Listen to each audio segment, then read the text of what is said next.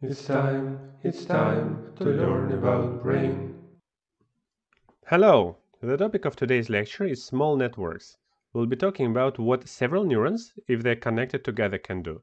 And obviously several neurons connected together can do way more than any single neuron. Even though we have seen in the previous lecture, even a single neuron can do some computations. Some combinations, some small networks or network motifs, like little pieces of how neurons can be organized, are so popular that they even have their own names. And it's nice to go through these names just in case we meet them in the future. The most obvious one is the feed-forward excitation network. It's this A number over here. When you have an excitatory neuron, excitatory neurons on this picture are green, connected to another excitatory neuron, or rather a bunch of excitatory neurons probably, that are connected to other excitatory neurons, and so on. And this is what most of the brain is, of course. Feed-forward networks where information propagates from one neuron to another, from one set of neurons, from one layer of neurons to another. The next combination that also has a name is called feed-forward inhibition, where you have excitation, excitatory neurons, connected to inhibitory neurons, probably GABAergic we are talking human brain, and inhibitory neurons inhibit the next layer of neurons. And if you don't yet know why this thing could be useful, just remember that it is possible, and actually even within this lecture, we will have a case when feed-forward inhibition will be used. The next one, the next pair of words, I guess, convergence and divergence, are about several inputs converging on one neuron or one neuron sending outputs to many neurons. Basically, these are two words, the meaning of which we could have guessed. Lateral inhibition is fancy and will be used a lot, but let's park it for now because it's kind of weird to learn it without the system in which it is used. And the one that's really important is feedback or recurrent inhibition. When you have excitatory neuron that projects to another excitatory neuron, but then one way or another, you have an inhibitory neuron projecting back to the original neuron. And this is perhaps the only one where I can ask you a question and actually expect an answer. When do you think this would be useful? So again, you have an excitatory neuron is projecting to another excitatory neuron, but also you have an inhibitory neuron that projects back. This is inhibition. Maybe this one projects to it, or maybe this one projects to it, something like that. When this thing will be useful? What do you think? Maybe let's use our traditional way of designating questions. I will make a sound. Perhaps you recognize the theme, the, the motive. This is a case of negative feedback because inhibition makes neurons spike less.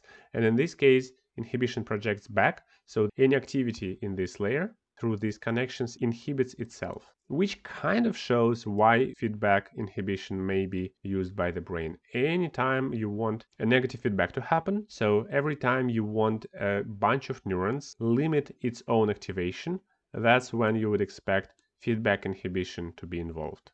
But today we'll talk about a particular neural circuit and a particular behavior, which will be a startle and escape behavior in a fish. Because it's a nice model, and the model that was actually studied, and that nicely illustrates some of the core ideas of how you can combine a few neurons into this small network that are kind of understandable and that you can even try to reverse engineer in some cases. So let's see, what's happening here? What is shown on this slide? What do you think? It's clearly underwater, right? But at the same time, these animals seem to be birds. What are birds doing underwater? Shouldn't they be flying in the air? These birds are hunting. You probably noticed that these are seabirds. These, these ones in particular are called gannets, and they fly above the surface of the water, but every now and then they see the fish down there, and then they climb higher in the air, and then they dive and they dive at high speed, they break the surface of the water, see they make these nice weird chimneys of bubbles. They dive pretty far, and then once they approach the fish, they try to catch it. And the idea is that you do it so fast that fish doesn't have time to escape. Probably the most famous bird who is doing that is the kingfisher. Here are three pictures of a kingfisher. But so what can a poor little fish do? Because this thing is really fast. Kingfisher, uh, when it breaks the surface of the water, is moving at about 10 meters per second. What can a fish do? The only thing it can try to do is to escape. And it's a peculiar type of escape because it doesn't actually have to go very far. It's not about being able to swim fast, it's about being able to react quickly. It may be only enough to move by a few centimeters, because once the bird is underwater, its speed is dropping really quickly, so most probably the area in which it can catch you if you're a fish is where its neck can extend. Just a few centimeters may mean the difference between life and death, so it's better to quickly move by a little bit than slowly move really far. How can you do that? It turns out that fish, most of them, have this fast escape response. And here's a description of this response in a goldfish, I believe. The top few pictures are silhouettes from a video, high-speed video, a thousand frames a second or something. On a normal speed video, you basically wouldn't see that because the response is so fast. For a normal frame video, this would be one frame. Everything basically happens within the length one frame. But if you shoot it at a high-speed video, you notice that there are stages to this behavior. At first, fish is standing stable, and then at some point it's bending in this C shape, and then once it's bent, it allows its tail to make a flip. So it moves its tail, and the fish ends up being turned by 180 degrees compared to how it used to be before the behavior started. So in just a few milliseconds, it moved in the opposite direction, and actually, because of this tail flip, it's moving in this direction. Just a few milliseconds after the stimulus, the EMG can be detected, and EMG is electromyography, which means an electrical recording from a muscle. Myo stands for muscle. In just a few milliseconds, the muscle gets depolarized, which means that everything, all the neural processing happens in these few milliseconds, in the seven milliseconds or so for a goldfish. And stage one starts is when you can notice the beginning of this motion. And what's interesting is that the time delay between the depolarization of the muscle and the beginning of movement is actually longer than the time it takes the fish to detect the signal and process this information. So this delay between the moment when the muscle is depolarized and the fish started to move is something that you cannot get rid of. It's just the natural delay. The muscle cannot move, cannot start moving faster than that. But the neural process is so optimized that it happens faster than the beginning of the movement of the muscle. And just in few tenths of milliseconds, the fish is basically done. So less than in a hundred of milliseconds, the fish is already fully turned in the opposite direction and moving at a reasonable speed and it can later add some swimming motion to it. Here is an example of this process happening. Here we can see a battle of two animals. Do you know this monster? Can you recognize this monster? This is a dragonfly larva. Dragonflies are predators, aerial predators, but their larvae are famous underwater predators. So dragonfly lives as a killer insect in both halves of its life, when it lives underwater and when as an adult it lives above water. And here you can see the dragonfly is trying to eat this tiny, teeny, teeny, tiny newborn zebrafish. This zebrafish is probably about a day old or something like that. Just a few hours after fertilization. You can barely see it. It's basically all eyes and tail. But even at this age, it already can escape from a dragonfly. So you can see dragonfly extends these snapping jaws or whatever the name of this organ is that it uses to catch stuff. But fish starts escaping and manages to escape and this is filmed at a thousand frames a second, but shown to us at 30 frames a second, which means that it is about 300 times slowed down compared to the actual event. The actual event we wouldn't have even be able to see if we just stared at this petri dish with our naked eyes. It would have been instantaneous. But with a camera we can see that lots of drama is actually happening. In this case the fish wins.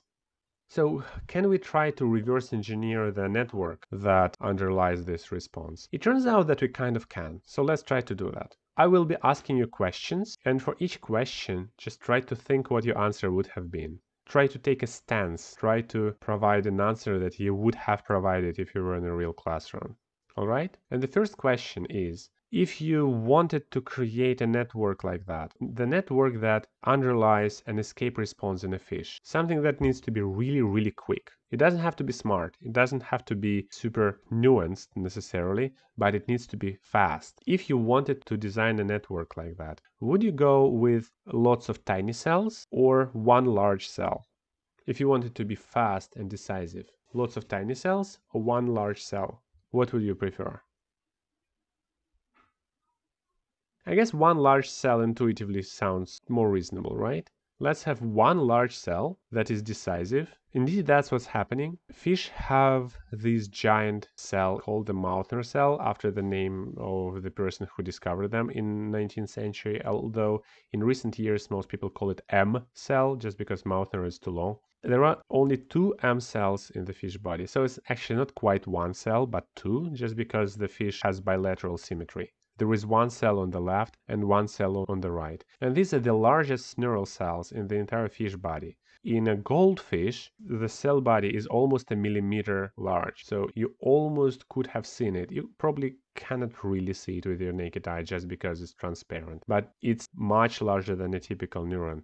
And we can kind of see how having fewer cells in this case makes sense because this response needs to be decisive. Having a lot of cells would probably be better if you wanted some sort of democracy, if you wanted different cells have different opinions and then you wanted to average these opinions, which is a good approach in, in, some cases, but not in this one. In this one, we want a decision to be made quickly and then the result of this decision be powerful. So we would rather go with a few large cells rather than with lots of small cells. Next question, what be the main input for this cell? So when the fish escapes, what is the main sensory modality? What is the main sense that would help it when a bird suddenly crashes the surface of the water and goes down in this almost explosion of bubbles? What sense will be the most obvious one to use to detect it? And also we want this sense to be kind of fast. What would it be?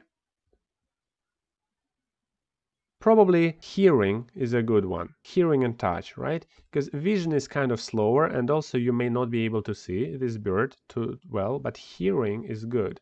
And fish actually have another sense that's kind of in between touch and hearing, which is called the lateral line. So they have these sensitive cells in the ear as we do, but also they have similar sensitive cells in a special canal that runs along their body, and they use these cells to also detect the movement of the water around them. And the cells can be roughly drawn like that. So this is supposed to be a rendition of one of those sensory cells. And these cells connect to neurons and neurons connect to the Mauthner cell. Good. So now we have the sensory part. And I will be drawing everything on only one side.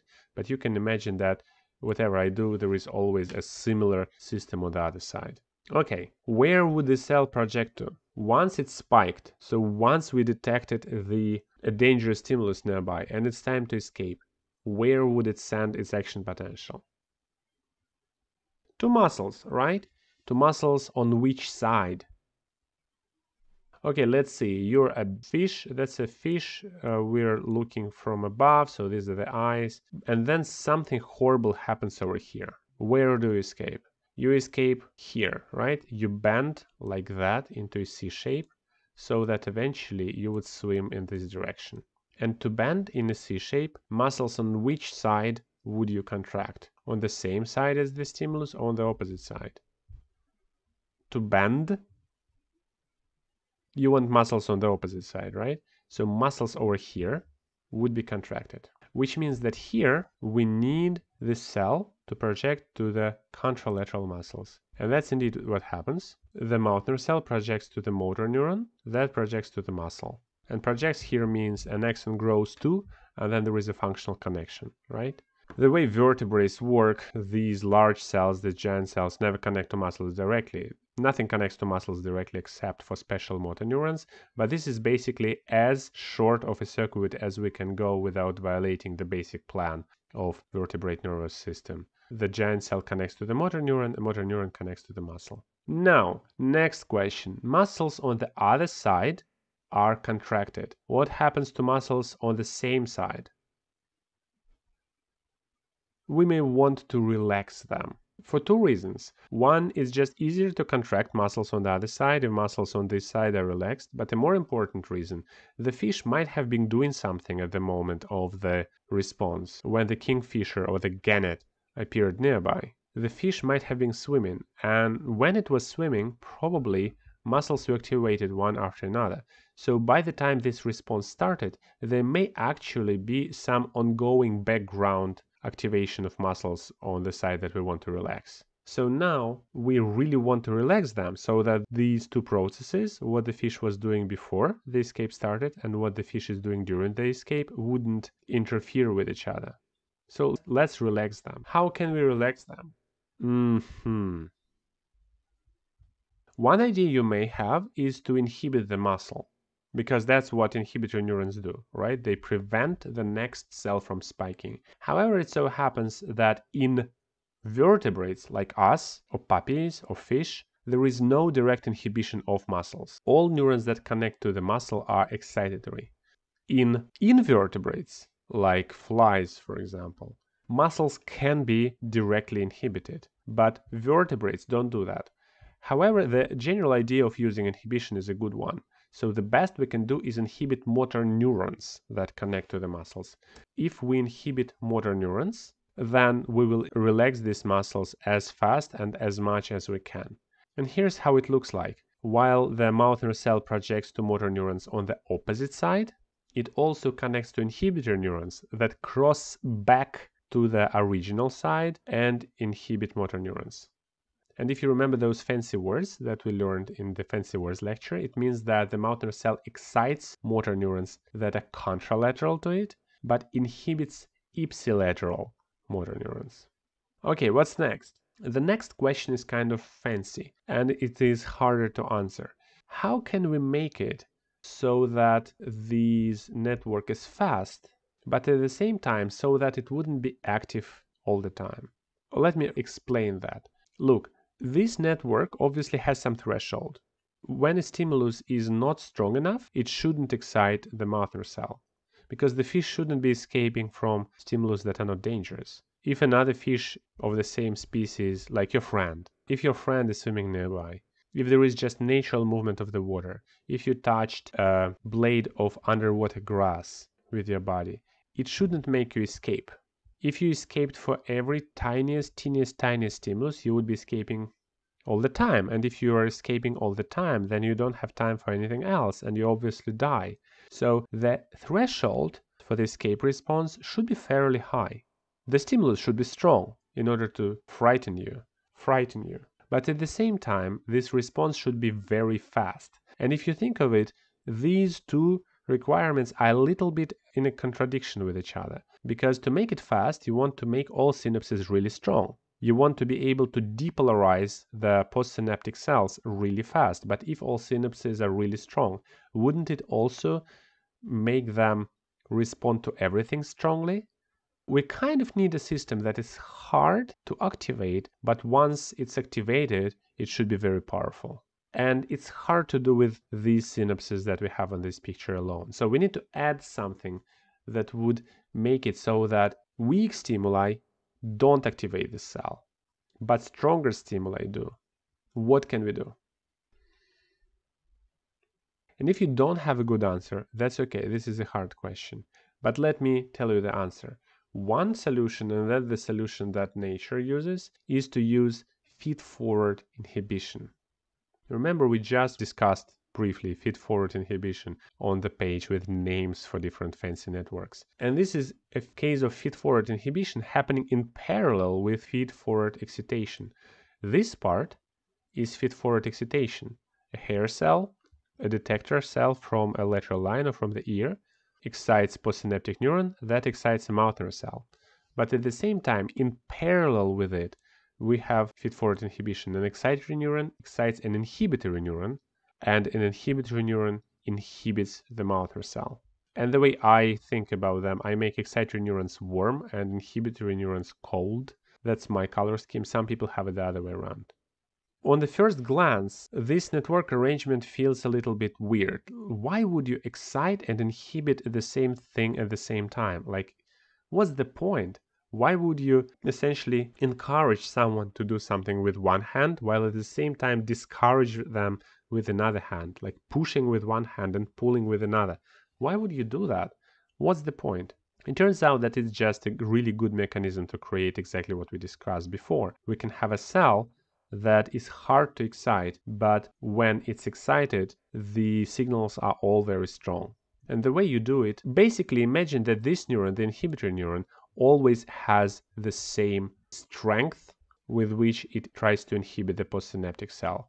But this neuron, the excitatory one, excites the postsynaptic cell, the Mauthner cell, the M cell, the stronger, the stronger is the stimulus. In this case, for weak stimuli, you will have weak excitation and this fixed, fairly strong inhibition. And inhibition will always win.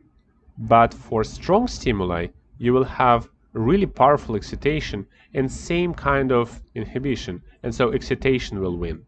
This would allow you to set the threshold fairly high, and it also comes with another funny consequence. By changing the strength of this inhibitor neuron, you can change the threshold for the stimuli that would evoke a response. And in real life, you probably, you certainly want to change the threshold a lot. Imagine that you're a fish and you're in the middle of a lake and nothing is happening. The weather is good, but then a day later it's raining and these drops of rain falling on the surface of the water create some constant noise. And then maybe it's windy and so there are waves on the lake. Or maybe as a fish you swam closer to a waterfall and near a waterfall there is this constant noise and still you want to find some food and do your fish things that fish do, whatever they do, fish in their spare time. So depending on the situation, you want the threshold for, for responses be either high or low. It's like being in a quiet room and being spooked by every sound or being in a loud environment somewhere in the middle of an airport. If we respond to noises in the airport the same way we respond at our cabin in the woods at night, we wouldn't have been able to even exist in the airport, right? We would have just collapsed on the floor. So the same is true for the fish and the waterfall and the windy day. We really need to be able to change the threshold at which the escape response starts. Okay, good. So far so good. Now we have a network that can make you contract your contralateral muscles, that relaxes your ipsilateral muscles, that is fast, decisive, and has a threshold for activation that is fairly high. Now, how do you decide which side to actually contract? So far we discussed this example when the fish is looking in this direction. This is again the fish seen from above so the fish is looking there and then something happens on one side and we assumed that this stimulus may be a predator suddenly appearing. This movement of water excites one side stronger than the other and the Mauthner cell makes it so that muscles on the other side contract. Good. But what if the stimulus is just slightly over here? Slightly biased, slightly on one side, not directly in front of you, but at the same time, it also activates your ear and your lateral line on the other side of your body. A strong enough stimulus would probably activate both sides anyways, right? What to do then? How to make it so that this network could respond reasonably to a stimulus like that? Because you see, we have a problem. We really don't want both cells to be activated. If both cells activate, then at the same time you contract your muscles on one side, but also you contract the muscles on the other side. Where do you go then? Nowhere. If both sides are contracted, it's a spasm. You just freeze in spot. You just do. Uh, you don't really bend. You cannot bend because the other side is not relaxed. So we should somehow change this network now so that only one Mauthner cell would be activated. So let's think. The stimulus comes to both sides, but it probably reaches one side a little bit earlier and it's a little bit stronger on one side. So it's as if we needed to compare the strength of two stimuli. How to do that? How to compare the strength of two stimuli? A hint, we actually had a slide about that. Inhibition, right? Remember, if you have two sides, and you want to compare them, you just have a neuron that's excited but by one side but inhibited by the other side. And then this neuron will respond essentially to a difference of activation on the left and activation on the right. And that's what happens here. So look, because I'm only drawing everything on one side, it's a little bit iffy, but here's what happens. Each lateral line, each ear excites the, the ipsilateral Mauthner cell but inhibits both the ipsilateral and the contralateral Mauthner cell. If this input is strong and this input is weak, we will have strong inhibition here, but weak activation, and this cell won't be excited. And if this input comes a little bit earlier, which it will, even better. Basically, whomever is excited stronger and whomever is excited earlier wins. But now let's do a sense check. How quick is this network really? As we've discussed, the action potential takes about 1 millisecond to happen, but the synaptic transmission is about 2 milliseconds, and that's about the shortest you can go. Maybe it's even longer, maybe it's even up to 5 milliseconds. And 2 milliseconds is a lot. Let's estimate. The Kingfisher goes at 10 meters per second, which means that in 1 millisecond it does 10 millimeters and 10 millimeters is 1 centimeter. If the synaptic transmission is 2 milliseconds, it means that the bird trying to catch this fish will move by about 2 centimeters in that time. And that's almost an inch, it's like that much. It's quite a lot. If each synapse weighs 2 milliseconds, we are probably dead. What can we do? Do we have any tricks in our sleeve? Yep, and we talked about those electric synapses. Remember, they're not particularly tunable, they're harder to tune, they're slower to tune, but they're fast. And so, what we can do, we can try to use an electric synapse. These neurons form both electrical and chemical synapses on the Mauthner cell, and they become exceedingly fast. The speed of transmission in electrical synapses, because it's essentially direct coupling of two cells, is measured not in milliseconds but in microseconds. So it's about a thousand or a hundred times faster. But now we have another problem. Inhibition had just become an important part of this story, but inhibition is still chemical, while excitation is electrical, which doesn't make sense because now inhibition cannot catch up with excitation and everything that we said before doesn't work anymore. Excitation just does everything way too fast for the inhibition to catch up. What can we do? This is a trick question because it's really hard to imagine an inhibitory electrical synapse, but it turns out in this case an inhibitory electrical synapse exists. And I draw it as a rather fancy structure because it is a fancy structure. And we won't go into details because this is a very specific motive, specific for this circuit and for a fish brain. Electrical inhibitory synapses of this particular type don't seem to exist in our brains, for example. So we won't be talking about that. Let's just believe that it's possible to do. If you're interested, you can read about it in the paper.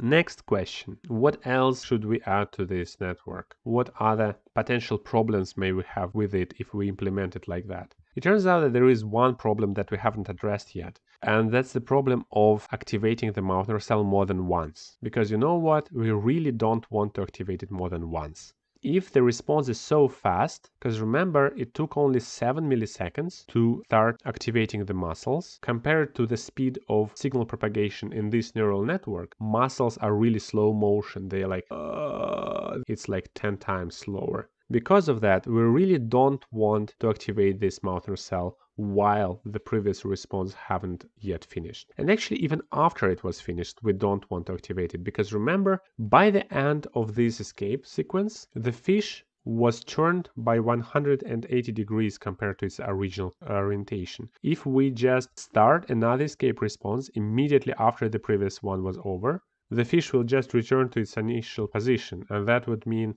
that nothing useful happened. Bon appetit, little bird which means that we need to find a way to inactivate this network after it fired. And you may think, oh well, action potentials already kind of come with this feature built in. There is a refractory period. And that's kind of true, but the refractory period is fairly short. It's only a few milliseconds, while we are talking hundreds of milliseconds. How can we make it happen? And we can start with a general statement. How do we inactivate cells? How to make sure that cells don't spike? Inhibition, right? So can we use inhibition here? Yes, we can. We can do feedback inhibition. Remember, feedback inhibition is the type of negative feedback, and it's so reasonable to use it here. We just make the Mauthner cell project not only to motor neurons, but also to a whole bunch of inhibitor neurons that would project back to the cell itself. So every time the cell spikes, the signal goes here, but it also turns back, activates these inhibitory cells, and they make sure that the cell doesn't spike for the second time. And now the only correction to this picture is that we probably want to activate these feedback circuits from cells on both sides of the body. Because regardless of whether it was left or the right cell was fired, we don't want to fire either cell for a few hundreds milliseconds after. And that's basically it. This is the network. This network is enough to support the escape response that we've seen on the previous slide, and it works. We reverse engineer this network successfully. So now next question. Can we use this network as a useful model to answer more general questions? Questions that are not about fish. Questions about fish are also important for the ecology of fish, for the general idea about how to perform escape maneuvers, but can we generalize from this model? Can we use it as a model for decision making, for example? Does the fish make a decision here? What sort of a decision it is? What do you think? Think about it. And if you think of it, probably the answer is yes because the fish is making two decisions actually. One is whether to escape or not, because the threshold may change depending on whether it's still weather or raining and windy whether other fish are nearby, whether you are close to a rapids in a creek or to a waterfall. Depending on all these circumstances, the threshold for good reasonable escapes should be either higher or lower. This is a sort of decision making that's simple but not primitive. And also, you need to decide where to escape. And you can ask all sorts of questions. For example, what if the stimulus is exactly symmetric? Is it better to escape to the left or to the right? Are most fishes righties or lefties as far as these escapes go? Can you teach the fish mostly escape to the left and to the right? You can ask lots of interesting questions, even in a network, and for a behavior seemingly as simple as this one. And here is a very interesting tangent. The fish tries to optimize its responses. When the stimulus is on the right, it escapes to the left, and the other way around. When the stimulus is on the left, it escapes to the right. But the problem is that predators are generally smarter than the prey. Wolves are generally smarter than the sheep, lions smarter than gazelles, because they have better food, and because one of the key ways of hunting is outsmarting your prey. And so, if you always escape in the same way, even if its way is optimal, sooner or later somebody may start exploiting that. And indeed, it turns out there is a snake, a fancy snake called a tentacled snake that lives in murky waters somewhere in Southeast Asia. It tricks the fish into escaping right into its mouth. So the way it works, the snake positions its head in front of the fish, then it quickly moves its neck here, and the poor little fish escapes right into the snake's mouth. It begs the question, can the fish still outsmart the snake if the snake is trying to predict how the fish can move? It turns out that the correct answer is your best way is to become unpredictable. And fishes try to escape not optimally, but unpredictably. And to be unpredictable, you acquire special neurons in your body that just generate noise. The object in which it was studied are those moths that try to pretend to be a dead leaf when hit by the ultrasound wave from a bat. It turns out that these neurons in the moth don't just make them stop fluttering their wings, but they make their movement really unpredictable because moths have neurons that just fire all the time spontaneously. They generate noise, and when moths are hit by the ultrasound wave, their motion becomes unpredictable. If moths tried to optimize its escape maneuver, the bat would have manipulated it. But by behaving unpredictably, the moth forces the bat to try to react to its movement, and reacting to the movement is always harder than manipulating someone. And this is interesting from the philosophical point of view, because if you think of free will, if you try to define free will phenomenologically, which is a fancy word for how do you know free will when you see it, if you ask a person how can you tell whether someone has free will or not, they will probably answer something like when they can act out of their own volition when they can act not as a response to something that comes from the outside, but kind of randomly. It almost feels like an ability to be unpredictable is one of the things that we tend to associate with free will. And while two first escape circuits that we considered, the escape circuit in a crayfish, remember where we just had electrical synapses, and now an escape circuit in a fish, they both looked kind of optimized but deterministic. You can predict where the fish would go depending on where the stimulus comes from. But it turns out that real escape circuits are often more complicated than that because they have noise not just being there as an annoyance but deliberately built in by incorporating neurons that spike spontaneously. And that makes behavior of the prey unpredictable because unpredictable prey is harder to catch, it cannot be manipulated. And that's interesting because it means that if you define free will, and I'm sorry for spoiling it. I wish we could have a conversation about that and come to the conclusion together or have several nuanced versions of this conclusion. But basically, my take on it is that if we define free will as an ability to be unpredictable, then it only takes one neuron, especially tuned neuron, a neuron with a fair amount of spontaneous activity, but one neuron nevertheless, to satisfy this requirement and you can make different conclusions from that, but I guess let's park it. Next, an interesting question is are there any practical applications to that? We just talked about the general theory of escaping, and before that, we talked about escaping in fish, which may be important for fish scientists. But if you're a human scientist, if you're studying animals mostly because you want to help humans, can this behavior be useful in some way? And it turns out that there are ways to use it for practical purposes. So let's see one option that we have. And let's start from a little bit afar. Stimuli that are scary. This is a series of pranks where a snowman would stand and the snowman or snow person perhaps, this snow person would be just standing there like a sculpture. So people would not pay much attention to it, but then it would suddenly move and people would freak out. What's interesting here is that obviously if you have seen this snow sculpture move before, it's no longer scary. It's only when it's unexpected that it's scary. If it's expected, then you basically don't care that much. And that's interesting. The same stimulus can be scary or not, depending on whether you encountered it before. The second motion is less scary than the first one. That's what we can try to model. The way people study that, they either deliver one stimulus, like a sound or a tap that would normally make a fish jump on its place and perform an escape maneuver, or you do two taps, and the first tap is kind of weak, and it immediately precedes the second tap. So it's either one or two. Interestingly enough, and kind of unexpectedly, two stimuli, even though it's more sound overall, like in total, it's two, it's not one. Two stimuli produce a weaker response you need to kind of tune it down a little bit. So the first stimulus, the pre-pulse, should be weak enough not to produce a response on its own. And the second one is strong, but so a weak and strong is less scary to a fish, like scary goes in heavy quotation marks. But two stimuli, a weak and a heavy, produce a response with a lower intensity than one stimulus.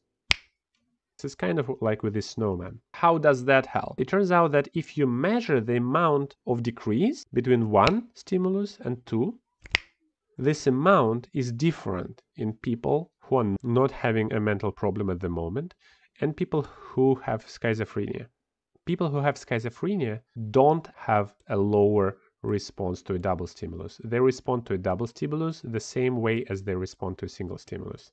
And this is shown on this plot. So control subjects, which in this case means people without schizophrenia, respond to a single stimulus like that. This is the basic response. It says zero, but it is, that's because we're looking at some arbitrary units.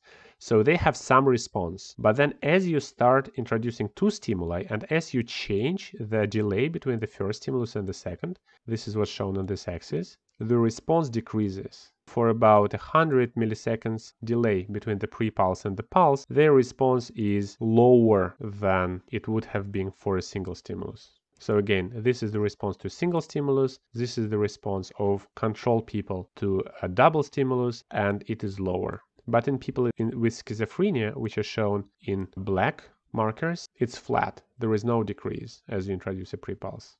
But then what's even more interesting, if you give them a medication that improves their symptoms, other symptoms, like real schizophrenia symptoms, their responses also become closer to that of control people.